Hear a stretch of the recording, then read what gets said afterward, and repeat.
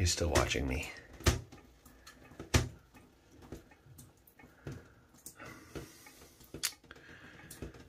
Why? Leave me alone.